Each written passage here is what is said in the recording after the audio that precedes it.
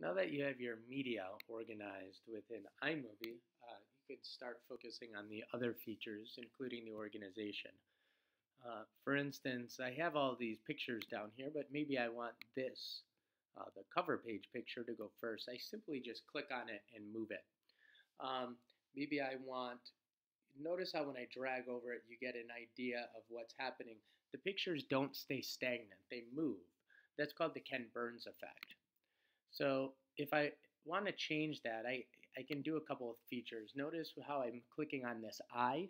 That's the clip information. If I wanted to linger for a little bit longer, say five seconds, I can just hit five and press return. Right now the preset might be three seconds or four seconds.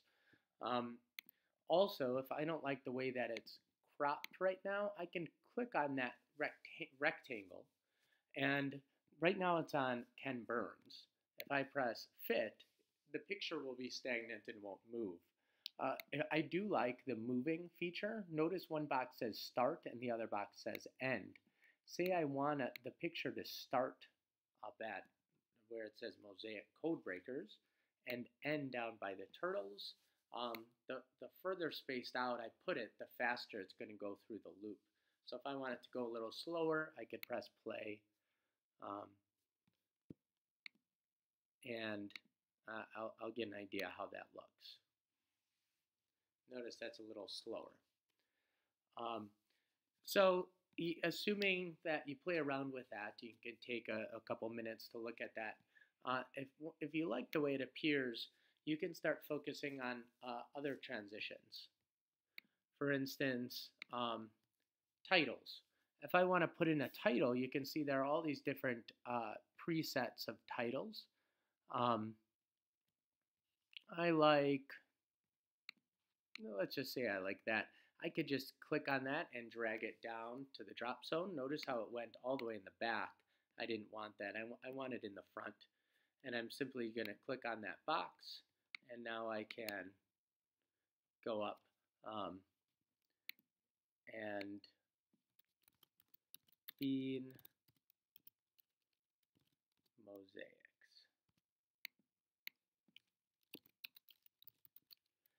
Fifth grade project. If I don't want this part here, I can simply just delete it. So that's four seconds. And now anytime I want it to play, you can see this white line moving. If I drag that back at the beginning, it'll play from the beginning. And I can press pause here. Um, but this kind of white line controls where uh, the screen is going to show in the video. So if I want to uh, add in um, a transition, what that does is it kind of just spaces out. Um, it's like a half second and you could change that too. But if I drop that between photos, now I'm going to move the white cursor here. If you press the space bar, that's another trick to get it to just play automatically. Bean Mosaics, a fifth grade project. Now watch right after this, you can see the white line, it's going to make it spin. That was the transition I chose. Um, and everything's a little bit delayed because I'm also recording it in the process. Um, I do want it to fade to white when it gets to this video of me, and I'll make it fade to white afterwards. So spend some time putting in the transitions. Also, if you want to um, add any text, if I want the text to be on the photo, um, you can actually, I'm going to just show you this and then um, that'll be it for this video tutorial. You can take it and drag it right on top of the photo and it will look like this. Um, and now I can actually write and it will show up over the photo and, and you can change the font, you can change the color. Um, let's just say I want pink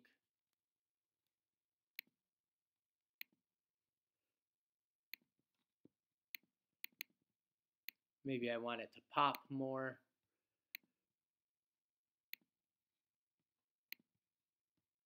And um, of course I can make it bold if I want in the background. So now let me just show you. I'm going to click the cursor right here, press the space bar, and it's going to, you'll see the transition pop in, and you'll see that it says uh. Um, so you can, and if you didn't get exactly where you want, just click on it and just pull it to wherever uh, you want that text to appear.